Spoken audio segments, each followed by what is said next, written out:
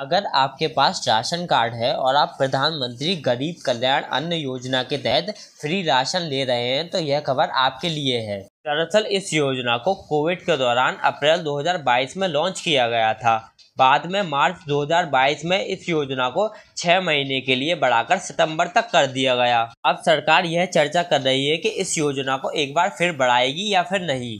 सरकार की इस योजना को लेकर इसलिए चर्चा हो रही है क्योंकि सीधे तौर पर 80 करोड़ लोग इससे जुड़े हुए हैं।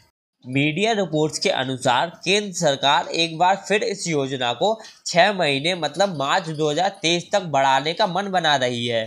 के संकेत केंद्र खाद्य विभाग के सचिव की तरफ़ से भी दिए जा चुके हैं। हालाँकि इसको लेकर आधिकारिक तौर पर घोषणा नहीं की गई है। और आपका क्या कहना है, इस बारे में आप कमेंट में लिख सकते हैं। अगर वीडियो पसंद आई हो तो लाइक कर दीजिए, शेयर कर दीजिए और सब्सक्राइब कर दीजिए और बेल आइकन को दबाना नहीं भूलना।